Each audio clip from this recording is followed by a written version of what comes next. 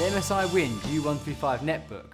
This is the MSI Wind U135, the follow-up to one of the best netbooks since the devices first became popular a couple of years ago.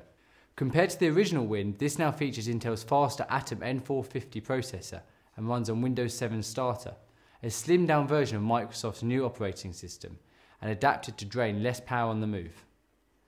But all the functionality you'd expect from the OS doesn't change, and if you've not tried Windows 7, then this is a perfect place to start. It is far more intuitive to use compared to Vista or XP and offers a much more customizable experience.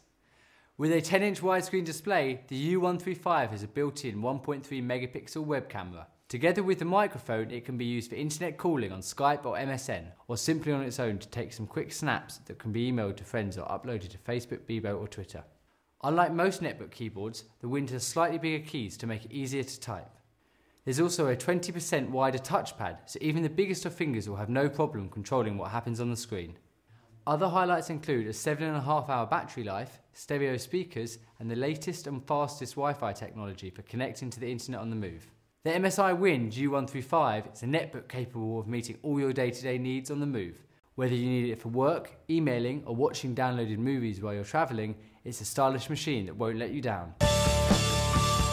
The MSI Wind U135 netbook, brought to you by the Carphone Warehouse.